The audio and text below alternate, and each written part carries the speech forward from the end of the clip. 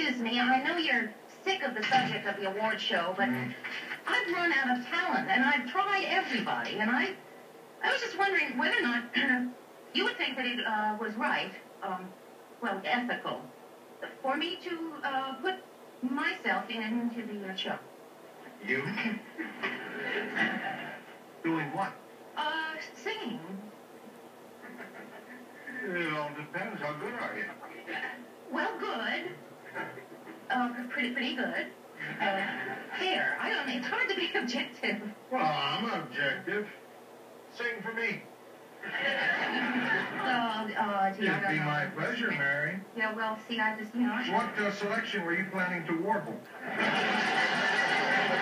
Um, one for my baby. One for my baby. Harold Arlen. Oh, great song. Sexy, torchy. Yeah. Wrenched from the guts of a woman who's really lived.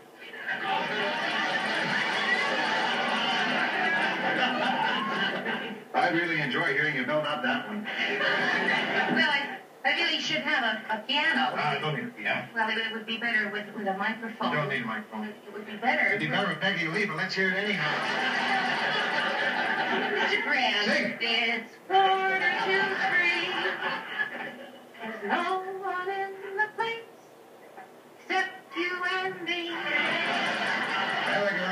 Lily Seller. So set them up, got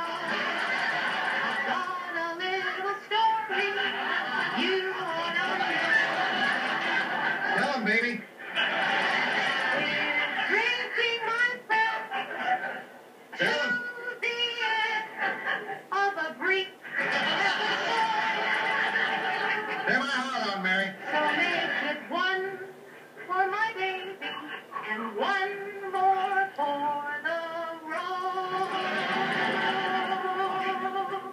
Singer! That's wrong!